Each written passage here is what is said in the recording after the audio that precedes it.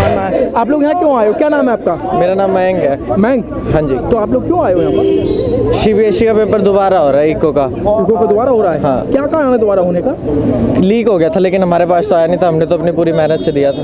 तो आप क्या चाहते हो आप लोग? कि पेपर दोबारा ना हो। यहाँ तो हो तो सारे हो। हो तो सारे हो और नहीं तो हो ना। नहीं हो। क्या नाम है आपका? नाम मेरा गुरजीत है। हाँ। यही इको का पेपर लीक हो गया था ट्वेल्थ का।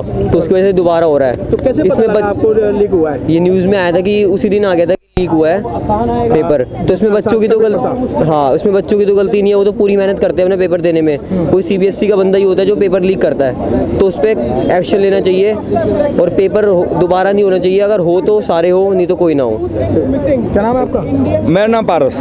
भारत कौन सी क्लास में पढ़ते हो हम ट्वेल्थ में। ट्वेल्थ में तो Yes. आप क्यों आए हो यहाँ पर? क्या कारण है आपका? सर जैसे कि ट्वेल्थ का पेपर लीक हुआ था पेपर मैथ्स का भी लीक हुआ बायो का भी है फिजिक्स का भी है केमिस्ट्री का भी है। यहाँ तक कि बीएससी का भी हुआ।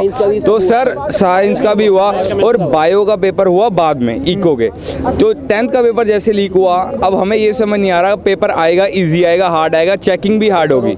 एवरेज पेपर सर हमें नहीं लगता सीबीएसई देगी। और इतना बड़ा डिसीज़न उनको लेना नहीं चाहिए था बिकॉज़ सर ये तो है नहीं कि सौ दो सौ बच्चे पेपर दे रहे हैं। बहुत ही बहुत ही लाखों में बच्चों में पेपर दे रहे हैं। और अब 28 को आईपी का वो भी है एंट्रेंस भी है। तो सर 24 को डेट आई है तो सर पेपर की हम तैयारी कहाँ करें? पहले हम फ़िज़िकल की टेंशन ले रहे थे। जो आर्ट्स के बच्चे हैं उनको भी टेंशन है। तो सर ये बिल्कुल गलत है। सर इनसाइडर्स ने पेपर लीक करा है। हमने कोई सीबीएसई का कोई स्टूडेंट्स है ही नहीं।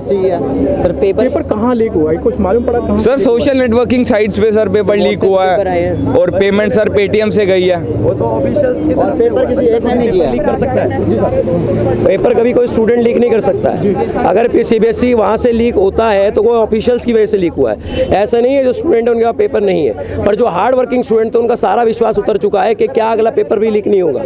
क्या एजुकेशन सिस्टम में आने वाले समय उसके दिमाग में क्या चलेगा? वो कोई भी एंट्रेंस देगा उसको ऐसा लगेगा ये पेपर भी लीक हो सकता है। तो इसमें स्टूडेंट की कोई गलती नहीं ऑफिशियल्स की गलती है कि जो उनके ऑफ़िस में बैठ के उन पेपरों को लीक कर रहे हैं। उन स्टाफ की गलती जिनका पेपर जाता है। अगर वो मेरा नाम रोहित है सर तो आप आप क्या चाहते हो? हम ये चाहते हैं कि जो रीटेस्ट है या तो सीबीएसई इसको कंफर्म करे कि बहुत उसको उसी पैटर्न पे रखा जाएगा। अगली बात, जिन लोगों ने हार्डवर्क किया है और 28 तारीख को दोबारा जो रीटेस्ट है, या 28 मार्च, अप्रैल से बच्चों का आईपी का एंट्रेंस का एग्ज़ाम है तो उनकी प्रिपरेशन कैसे होगी? जो नया सेशन है, मैं एक ट्यूशन चलाता हूँ इंस्टीट्यूट सेंटर है मेरा, उसमें मैं खुद इकोनॉमिक्स का टीचर हूँ। मैं ये मांगना करना चाहता हूँ कि अगर हमारा बैच थर्टी ट्वेंटी को बच्चों का पेपर होने के बाद खत्म हो गया तो फ़र्स्ट अप्रैल को हम नए स्टूडेंट को पढ़ाएँगे तो पुरानों को कहाँ बैठाएँगे?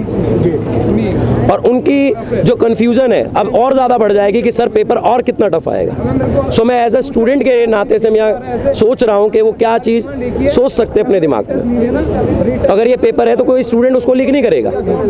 उसको जो है किसी ऑफिशियल ने लीक किया है। मैं ये नहीं कहता कि वो स्टूडेंट है या कुछ भी है। तो आप सोल्यूशन चाहते हैं? हम सोल्यूशन या तो ये इस डिसीज़न को वापस लिया जाए।